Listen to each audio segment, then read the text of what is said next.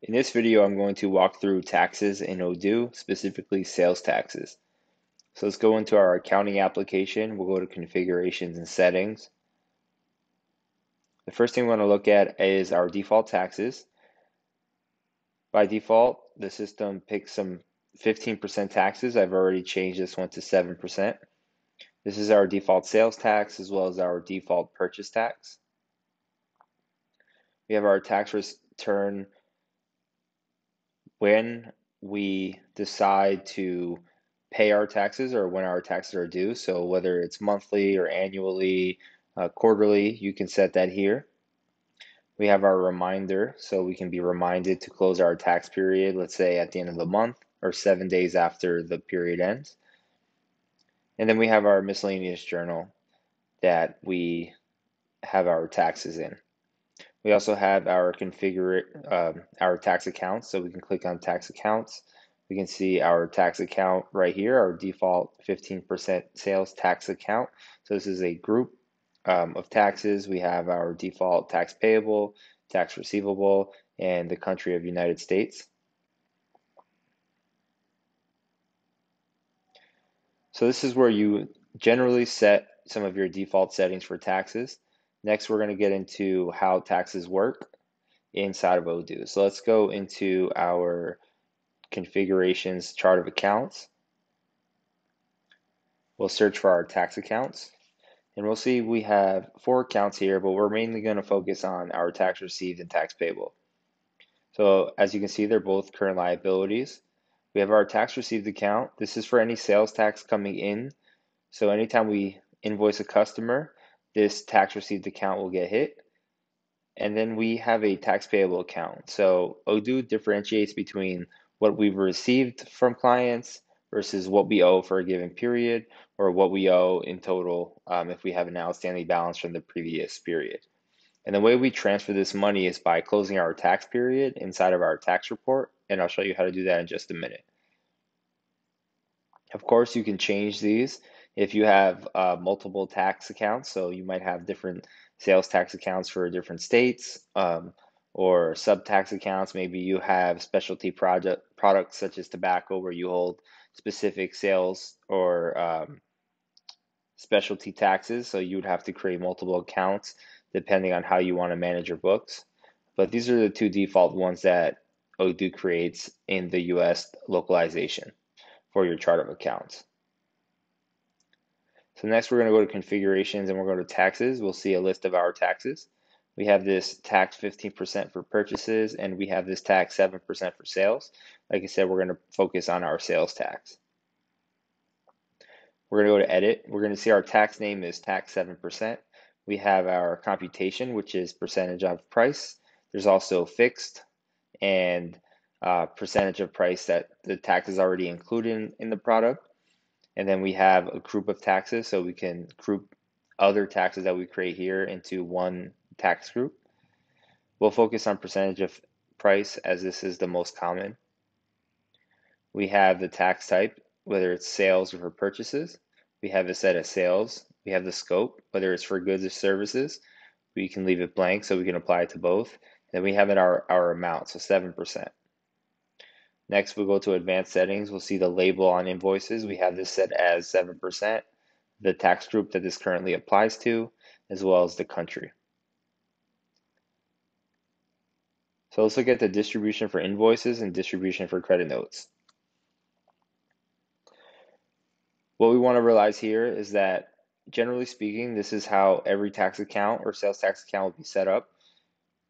We have what we're telling the system here is that 100% of the tax on a given invoice line or a given invoice is going to go into this tax received account. We also have distribution for credit notes, which is 100% of this tax is going to go into tax receipts as well. The only difference between these two is the invoices. Obviously, we're receiving money, so we're going to be cr crediting our tax received account. And for credit notes, we're going to be refunding money, so we'll be debiting that tax received account.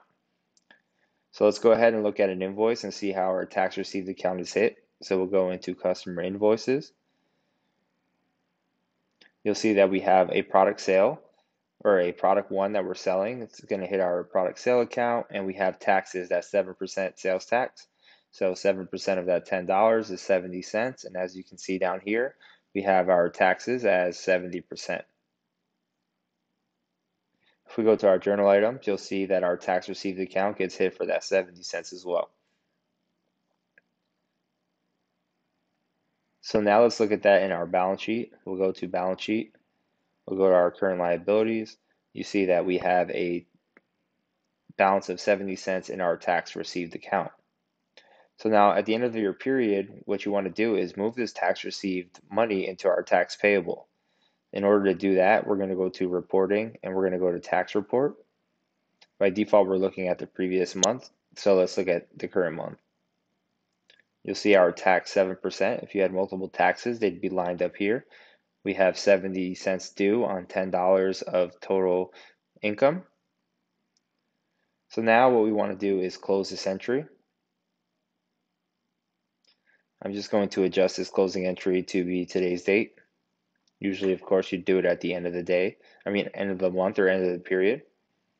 And as I said in the beginning, we're going to be debiting tax received to clear that out. We're going to be setting that to zero. And then our tax payable is going to get credited to increase the balance that we owe to the government. And of course, if you're doing this seven days or you know, some period of time after you're closing your period, then this tax received account will ultimately not be zero because you would have had more sales come in for the new period. But we're going to move over everything from the previous period into or from tax received to tax payable. So we'll post this entry. We can look at our tax report that gets um, generated here, this PDF. Let's go to our balance sheet and we'll see that our tax received account is now empty and our tax payable account has a balance of 70 cents. So now when we write our check to, let's say, our New York State for 70 cents, our bank account will create a new bank statement and let's just pretend that we're paying that 70 cents to New York State tax. So minus 70 cents here.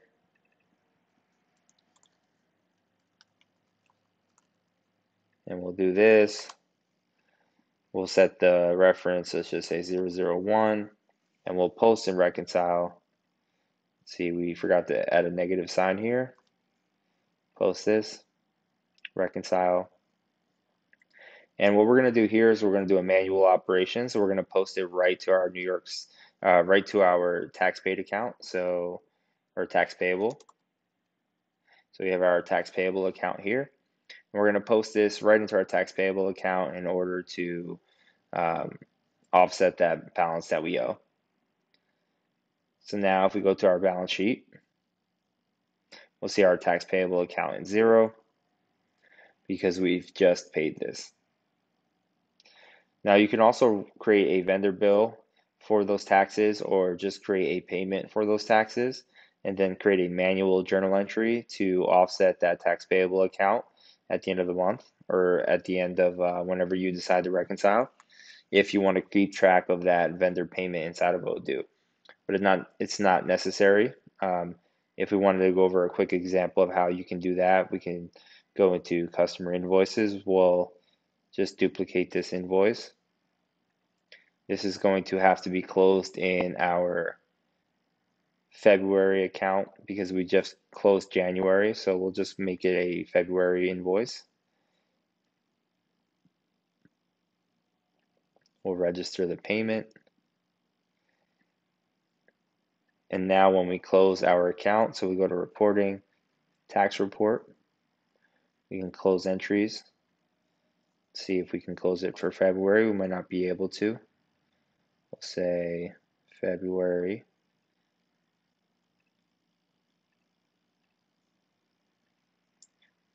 And we can close this for February. So now we have that 70 cents doing the same thing, going from received to payable. So we'll post this. And now if you wanted to create a vendor bill or a vendor payment, we can create a new vendor payment for 70 cents. And we can leave everything else blank. We're going to be sending it from our bank account. We'll confirm that. We'll go to our dashboard, create another payment.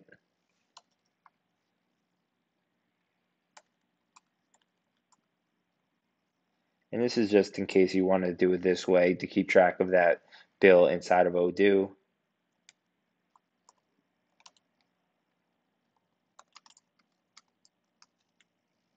So we'll post.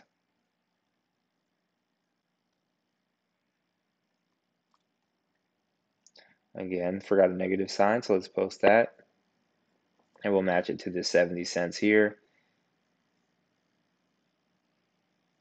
And now we can create a manual journal entry if we'd like to from our uh, well first we have to switch this to be February 28th we can create a manual journal entry from our debiting our tax payable and crediting our accounts payable. So let's go ahead and create that. Create a new journal entry.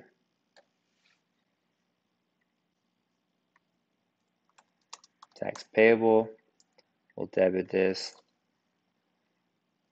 and accounts payable will credit.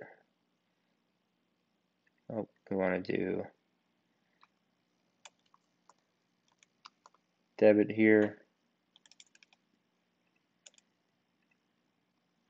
0.7 and credit here 0.7 and now we'll post this and look at our balance sheet for February. As you can see both of our accounts balance out so that's if you want to create that vendor bill inside of Odoo. There's also some more things that I'm not going to get into this video, but just to keep a, a lookout for is the use of fiscal positions in order to set taxes if you have multiple taxes. So if you have a fiscal position of New York or maybe you say New Jersey, we also do business in, and we're going to say if a 15 or if a 7% sales tax is applied to the product. Instead, let's apply a different sales tax. It might be 8.5%.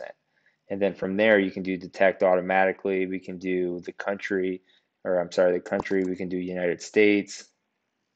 And then we can do the state. So we'll do New Jersey.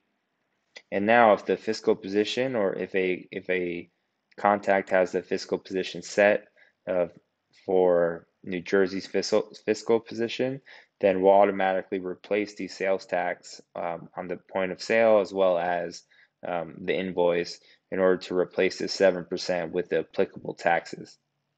So that's something to keep in mind as well, um, that we're very flexible in the way that we can manage sales tax. So that's an overview of how taxes work.